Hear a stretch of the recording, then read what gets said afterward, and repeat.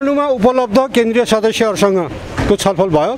धेरै टाढा टाढाको उपत्यका बाहिर धेरै टाढाको केन्द्रीय सदस्यहरूलाई हामीले बोलाएनौँ किन भन्दाखेरि उहाँहरू अस्ति भर्खर चार पाँचको भेलामा आएर आएर जानुभएको थियो। त्यसरी भ्यालीमा उपलब्ध केन्द्रीय सदस्यहरू झन्डै पुग्न पुग साठीजना जति मैले ठ्याक्कै दिएको नि तर साठीजना जति उपस्थित हुनुहुन्थ्यो। र त्यो छलफल हामीले त्यसलाई निरन्तरता दिने पनि विचार गरेका छौँ। र त्यसपछि संसदीय दलको बैठकको बारेमा छलफल भयो।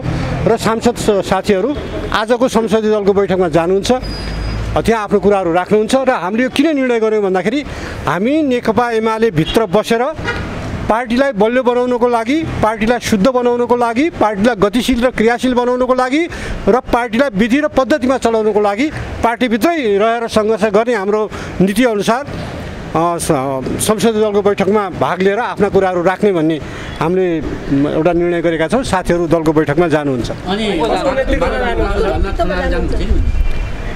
अब व्यक्ति को को जानुहुन्छ त्यो चाहिँ हामीले सोधेनौँ। अब दलको बैठकमा कति प- काम परेर नजानु पनि सक्नुहुन्छ। त्यो त उहाँहरूको आफ्नो कुसा कुरा भयो तर राजनीतिक रूपमा संसदीय दलको बैठकमा भाग लिने भनेर हामीले निर्णय पार्टी केन्द्रीय होइन त्यो त त्यो त छलफल जारी छ छलफल हुन्छ। हाम्रो भनाइ के हो भन्दाखेरि पार्टीमा हामी सङ्घर्ष गर्छौँ। सङ्घर्ष गर्नको लागि पार्टीभित्र रहेर पार्टीलाई शुद्ध बनाउनको लागि र पार्टीलाई पार्टीलाई क्रियाशील बनाउनको लागि सबै उपायहरू सबै तरिकाहरू अप्नाउँछौँ।